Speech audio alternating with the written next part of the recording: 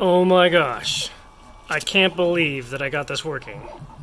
That is POM, or Delrin filament, acetal Delrin printing on my printer. I've been trying to get this working for over a week.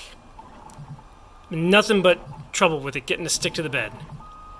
And today I was at the hardware store and I was just passing by, you know, one of the aisles and happened to see this. It's joint tape for filling in the seam between uh, panels of drywall, right? You see, it's got this little line. That's what it's for. But what's what is amazing about it is just it's paper, very porous, fibrous paper, and it was like two dollars and thirty something cents. and I've got a lifetime supply. Oh, it's done. Look at that. And I, I didn't even use a brim. I don't know what this dark color is. Probably just leftovers from uh, the carbon fiber prints I was doing. But oh my gosh, this is that's Delrin.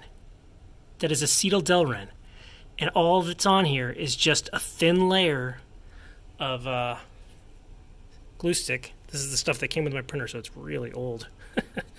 but what I did was I didn't just put the glue stick on and then put the tape down. I put the glue stick on. I wet the tape. I got it all wet in some water, just a little cup of water. And then I put it down and I used my little print removal tool to smooth it out and get the water, get the air bubbles out. And that seems to be the trick. And I, did, I printed it with normal 110 bed.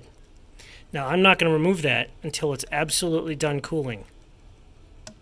And then we'll see how it goes. If I have to put a new piece of tape down every time, I don't care. That's no big deal. Like I said, it was two dollars and something cents for a big ass spool of it, big roll of it. Um, and I put these other ones down just in case I wanted to print like something bigger. But I can't believe that that finished printing. Hopefully, it's not just an artifact of me having some uh, nylon carbon fiber left over, and that it's, you know, it, it should be repeatable. But I'm going to try repeating it over and over and over again, and we'll see how it goes. Oh my gosh, I'm so excited.